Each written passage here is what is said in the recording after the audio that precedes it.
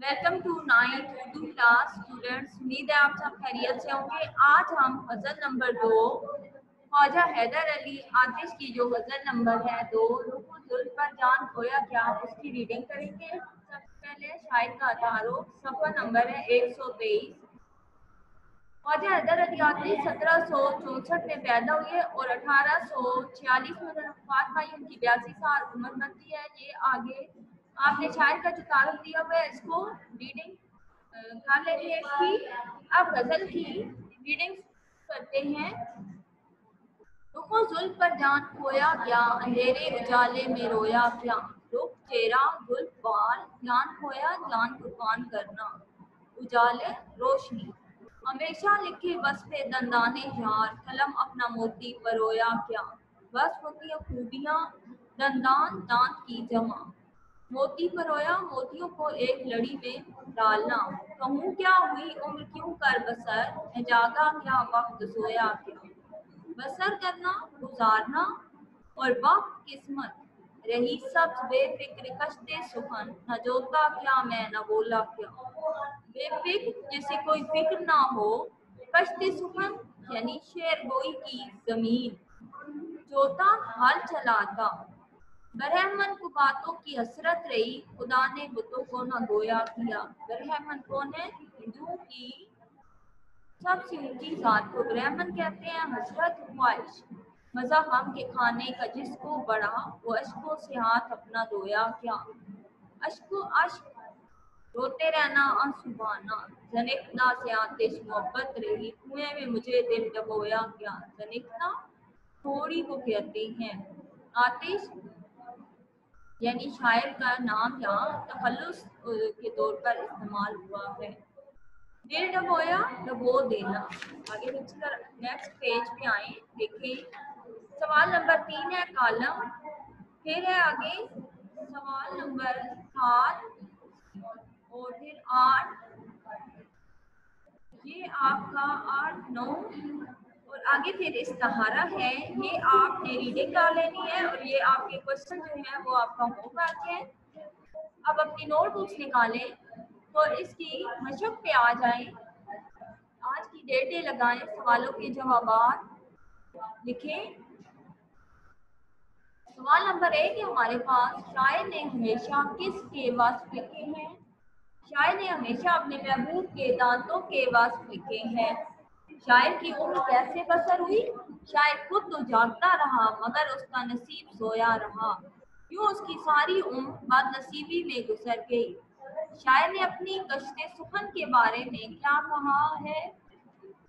जवाब है इसका, शायर ने अपनी कश्ते सुखन के बारे में कहा है कि मैंने इस पर कोई मेहनत नहीं की, मगर फिर भी ये सरसब्ज है। यानी मेहनत ना करने के बावजूद भी मेरी शायरी मकबूल रही।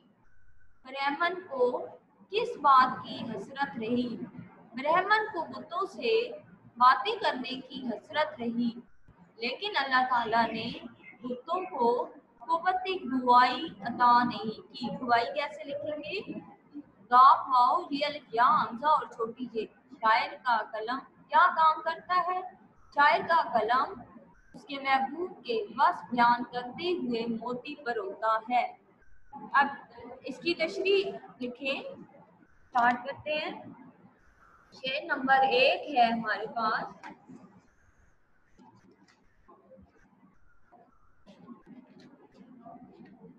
जुल्फ पर जान खोया क्या? अंधेरे उजाले में रोया क्या? तशरी लिखी इसकी, महबूब के चेहरे और बालों पर जान गवाता रहा। यानी अंधेरे और उजाले में मैं रोता ही रहा। अपने महबूब के खदोखाल बयान करते हुए कहते हैं कि मैं अपने महबूब के चेहरे और बालों की तारीफ़ करता रहा। शायर कहता है कि मैं दिन रात अपने महबूब की तारीफ़ ही में लगा रहता हूँ और यूँ ही अपना वक्त गुजारता हूँ। और इसी वजह से मैं कोई तामीरी काम नहीं करता।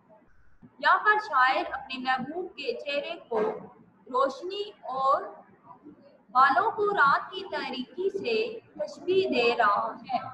शायर कह रहा है कि मैं दिन रात अपने महबूब की तारीफ़ में लगा रहा और रोता रहा और अपनी ज़िंदगी यूँ ही गंवाता रहा।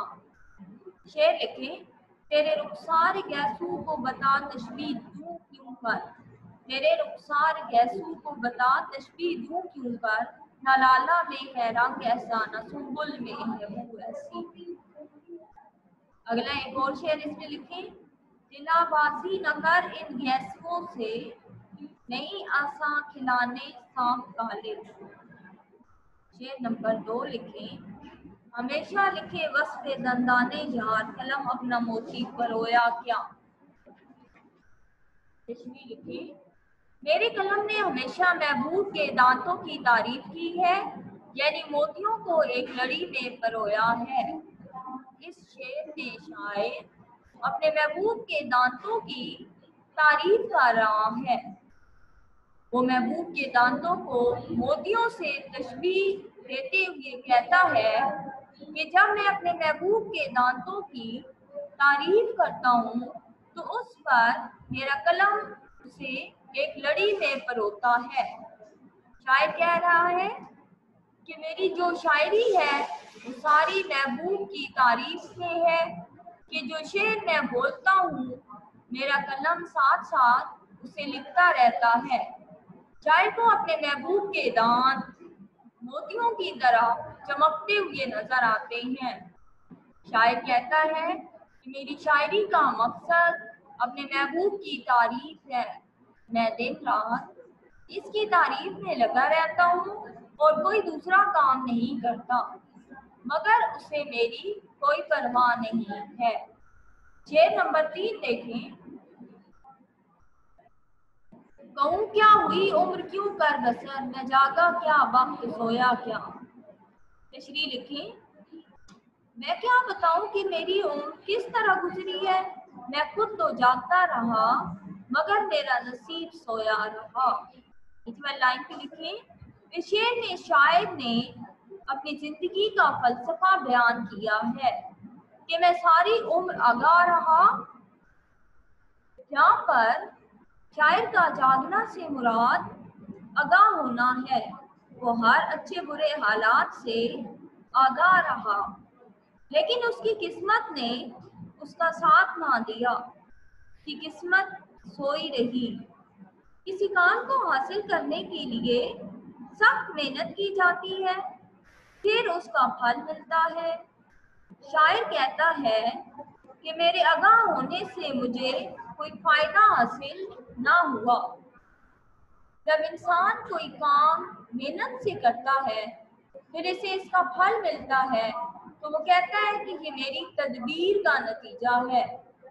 जब उस, किसी काम में कामयाब नहीं होता तो कहता है कि मेरी किस्मत ही खराब है। शायद यहाँ कह रहा है कि मैं दिन रात जिस काम के लिए कोशिश करता हूँ मुझे इससे कोई फ़ायदा ना हुआ, क्योंकि मेरी किस्मत ने मेरा साथ ना दिया और मेरी ज़िंदगी यूँ ही गुजर गई। शेर लिखें बोल शायद हम वो स्या नसीब है तारिक की शहर में, हम वो स्या नसीब है तारिक की शहर में, खोले दुकान कफन की तो सब मरना छोड़ दें। एक और शेर लिखें, क्या पूछते हो बात मेरे कारोबार की मैं आईने बेच चुका हूँ अंधों के शहर में। यहाँ तक हमारा आज का काम मुकम्मल हुआ? इसको आप ने लिखना भी है नोटबुक पे, याद भी करना है, अपना ख्याल रखिएगा, अल्लाह हाफिज।